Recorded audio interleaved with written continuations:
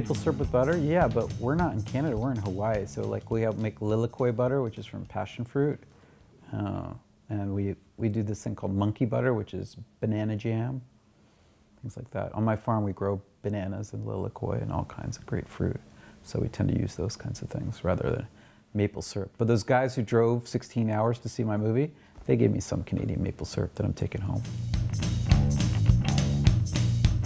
I've always been interested in animation. I did my first stop motion animation, I think, in sixth grade, um, junior high school, uh, as claymation. And so I've always been fascinated, but actually I went to school to study astrophysics.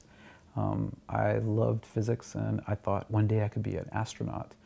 Um, and things happened, a few things happened in quantum mechanics class. I decided to go somewhere else um, because of the kind of belief system that science had, and it kind of jibed against what I was starting to feel. And I started experimenting with like psychedelic drugs, and they kind of opened my mind to a lot of other things. And I already had a lot of talent in the arts, and so I kind of just immersed myself in all kinds of art. Um, I studied non-Western art, and part of the reason why I live in Hawaii is I did field work in Tonga, Fiji, and Samoa. But how I started animation, I started working with the Hawaiian community. I learned how to speak Hawaiian. And they, at the time, their videos basically were shooting children's textbooks and reading them in Hawaiian, just the illustrations. And I thought, let's do some animation with this. So I actually do cutout, cut out these images from these children's books and move them a little bit. And every project, I upped the ante. I made them more and more complex and uh, and it just got more and more rich as, and dense and denser and denser with each project. And at some point, I felt like I got to do something with this thing that I've developed, this more dense kind of cutout style, and that's the genesis of the style of animation that's used in Strange Frame.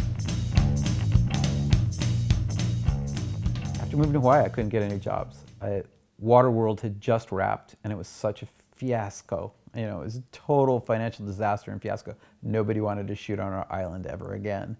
And um, that coupled with, uh, you know, economic shift at that time, uh, I couldn't get any jobs. I was working as a beekeeper. I was working as a substitute teacher. I was mixing sound at nightclubs for bands, doing anything to just stay alive and stay on the island because it's an incredible place to be. And I was a new father, and so I had to make money. Um, so I just took any job I could do whatever it took. I was working three jobs, I was working crazy hours. Um, but I put my name out there as much as possible. I went to the union and signed up, but you can't get you can't get in the union unless you get a job. You can't um, get a job unless you're in the union. So this is catch 22. So they have to have basically they have to have a big job come in where the union guys need somebody extra, and it didn't happen. So I'm just like, oh my God, I'm never going to work in this industry ever again. And um, uh, this live television show called The Jason Project had been rehearsing on our active volcano on my island for two weeks uh, to do these global broadcasts uh, um, about uh, the science that was going on on the volcano. And unfortunately, these two sound guys, uh, with these long hours, they got in a car accident and uh, almost died right the day before that the show was supposed to go live. And so I got a call in the middle of the night, uh, can you walk backwards over hot lava holding a boom mic? And fuck, I can do anything. For a buck, man, I could, at this point, I could do anything. Just get me back in the game. Um, and so I show up and I got my hiking boots on, ready to walk on lava. And, and I didn't really know, I, I gone out to the volcano bunch. I didn't really know what they were going to exactly have me do, but that's exactly what they had me do. There was a lava flow that was one hour old. The surface temperature of the ground was over 400 degrees. The air temperature was about 140. And there was a scientist out there, a geologist, and I had to walk backwards in front of him holding a boom mic in the dark at night and for live broadcast to the UK. That was the first show. And I didn't have any rehearsals. You know, these guys have been rehearsing for two weeks, getting things down to make it as safe as possible. And I had to do it out there cold, live, on camera, uh, not recorded, live. And so I go out there uh, for the first take and I'm all set up and my wireless, everything tests out great. And we go live and I'm backing up, walking backwards with the boom and it's really frigging hot and I'm looking to make sure I don't step on any of the cracks because the cracks are over 700 degrees. You want to walk where it's all dark, uh, where it's cooled a little bit to 400. and the glue that's holding my soles onto my boots melts and the soles start sliding off. And everybody's freaking out because they're all watching this happen live on live on, live on television and and I get through. I, I managed to get through. The gaffer comes up with the staple gun, boom, boom, boom, boom, puts the staples in, and I put my shoes back on. We're getting ready for the next one because it's live show after live show. And I get back in position. I'm walking backwards. I'm walking backwards, and the heat is coming right through my soles, through the metal of the staples into my socks, and burning my socks from the inside. And I'm, I'm keeping my cool. I'll keep my cool. I'll do this. I'll do this. And I get through that take. And so the gaffer comes back and he rips out the staples and puts duct tape. He rips the duct tape on and, and we get ready for the next one live to New York. And I'm walking backwards and walking backwards and the duct tape catches fire. You know, it's totally on fire, you know. And I get through that take and basically after that, people are like, dude, we'll hire you for whatever, you know. And I just started getting a lot of jobs. And in fact, after that, I went on uh, to produce, co-produce and edit um, the definitive documentary about Volcanoes National Park, which got picked up by the Learning Channel and Discovery Networks and went around the world. And I ended up shooting and working on about 26 different productions on the volcano. And that, that's how my career started, true trial by fire. In 1999, um, work, commercial work was starting to slow down for me. I was doing less and less projects for pay. And I thought I had also gotten to a point financially where I wasn't like starving all the time. um, and so I contacted my old friend Shelley Doty, who is a big sci-fi geek and a rock star. And I said, let's do something together. And we pitched ideas back and forth. And we came up with some of the rules that we would set down to create our universe for Strange Frame. Independent animation is different than regular independent film, and uh, a lot of independent film is documentary. The budgets are so low when you're talking about live action and documentary work. I mean, it's like you could shoot a documentary uh, independently for 10 to 30 grand. You really can. I mean, it's really lowballing it, but you can. And you can do an independent feature, live action feature, for 100 to 300 grand. That's still really lowballing it. But typically for you know, paying people to sit at workstations for a couple years, you're talking about, you're talking at least a couple million dollars, you know, um, and community funding that, I don't know if it's possible yet. I mean, if somebody comes up and takes the mantle and does it, um, great, you know, um, I still think that we need the big boys. And luckily I, have made some contacts with this movie and um, I'm hopefully going to meet with some studio executives um, over the next six months and talk about the possibility of turning Strange Frame into a TV series or continuing it as a movie. Um, but those are the big boys. And as you pointed out, sex, lesbians, uh, you know, all this kinds of stuff that, and drugs, especially, believe it or not, drugs is the biggest hang up for, for uh, foreign distribution. You know, it's not the lesbian, it's not the nudity, it's none of that stuff, it's the drugs. Um, and, uh, you know, even, even in, in our movie where the drugs are portrayed as a downfall thing, you know, um, it's still that they can't have it in there. Um, at least that's what I'm being told. We'll see. Uh, how I got my crew on Strange Frame was that in 2005, uh, I, I really wanted to do something rooted in the community. The island had given me so much. I, uh, working with Hawaiians was an incredibly rich experience, and they allowed me to get um, based in Hawaii. You know, there was always this pull to move back to the mainland because of the financial realities. It's really tough to make it on the island. I mean, I live in the middle of rainforest in the most economically depressed part of my state, and working with the Hawaiians allowed me to be creative and um, and survive there and thrive there. And so I wanted to do something where I was giving back. So when I started this project, Strange Frame, I decided I would go out and I would find talented kids in the local community and train them in the style of animation. And so in 2005, I went around to the high schools and the community college, and I started teaching at the community college to try to find the best students. And um, they eventually became my crew. I, I, had 40 kids go through my internship program, and out of that, we had eight hardcore people that worked on the film, and five of six of them were full timers for four years.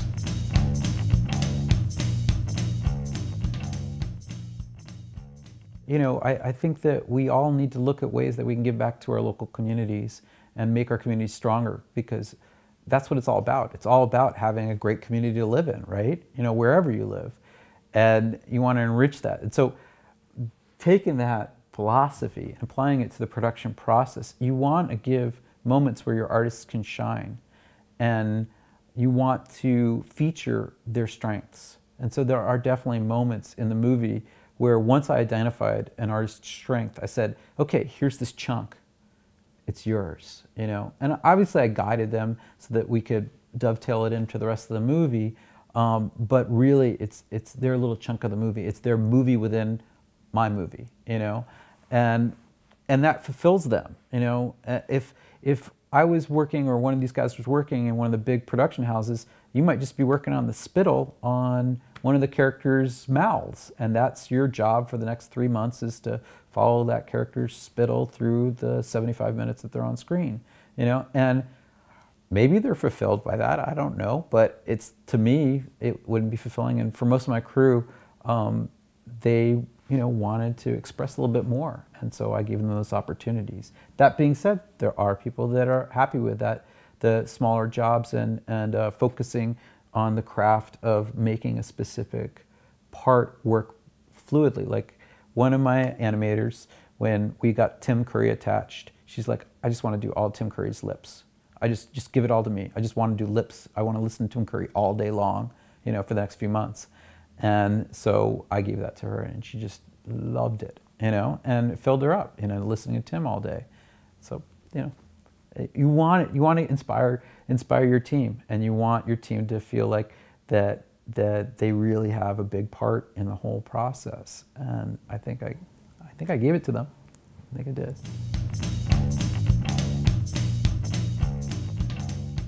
It's mostly self-financed. Um, the other people that came on board are my friends uh, and they came on because we had a really lucrative tax credit in hawaii so basically, they could come on and they had zero chance of losing money because they get all their money back as a tax credit, even if the movie doesn't make any money. So I had complete creative control at that level. It did, as far as the cast, we did have a couple cast members that we were seeking out that couldn't do it because of the sex, not the drugs, not the lesbians, that just the sex. And it was really a personal issue. Um, there was some personal family problems with this one star. Um, but we're very, very happy with the cast we did get. And most of these actors have um, track records. I mean, Tim Curry, you know, come on, he was the sweet transvestite from Transylvania. I mean, come on. Our stuff's, I don't know if it's tame compared, but it's definitely in the same realm as Rocky Horror Picture Show. So um, he was very fun to work with. And uh, we were asking him, like, you know, how does it make you feel? He's like, oh, this movie makes me feel high, you know. and I, I'm glad to have that response from one, one of the guys that I really um, appreciate. And he has the best voice. Uh, really, the reason we got the stars is because of my casting director, uh, Jamie Thomason, but it's also because it's so unique. Like, uh, Cree Summer and Tara Strong are probably the most booked voice actors uh, in the world. They, they do more stuff than, you put those two together, they do more stuff than 10 other people or 20 other people. And they were excited because, in their words, is like, oh man, what another lesbian rock movie? You know, we've done that so many times, i.e., never, you know?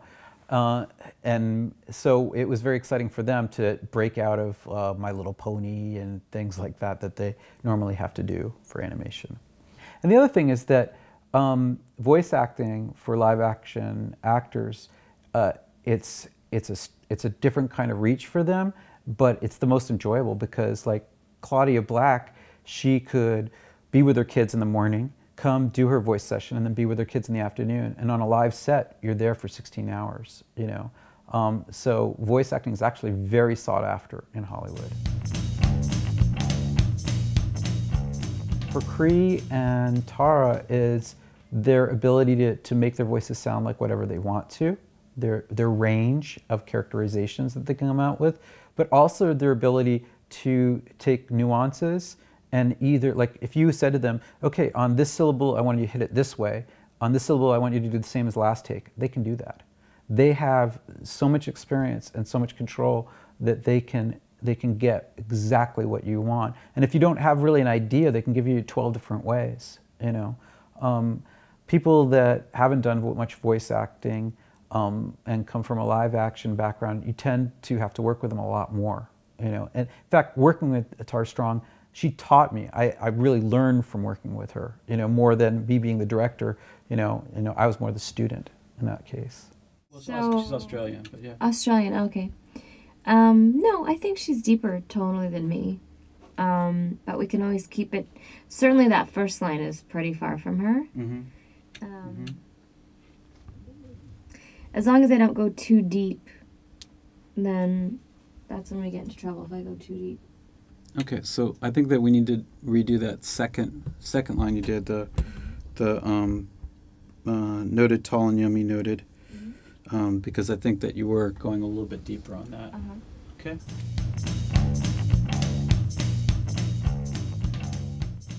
No, um, typically voice acting is done uh, sequentially, you know, not all at the same time. I, I wanted to kind of do the lovemaking scenes in the same room. I don't know if it was because I wanted to be a voyeur onto it, um, I just thought it would be um, more effective, um, but I think that they did a, a, fantastic job, even though they were totally separate when they were doing that. A lot of people were asking that, uh, were they making out while they were doing that? And I'm like, no, no, it's not like that. It's not like that. But it, it was great. It was a really great experience to work with these people. Uh, Tim has such a delicious voice. You can't not be happy with a take. I mean, even if he gets the words wrong and he just botches everything, which is very rare, is just his is such a richness and depth and uh, the wetness and everything about the voice just draws you in. Um, there's in the surround sound version of the movie, it's kind of exemplary about working with Tim because all of his takes were so good that we in the 5.1 mix we took five different takes and put one in each speaker, you know, a different take of of the line, so there a little bit intonation differences on it, and it's all happening around you. It's the Tim Curry immersion experience right there. And I, yeah, he's, he's fantastic. And, and he, he works really quick too. Um, I, I just feel so blessed that he's a part of this project.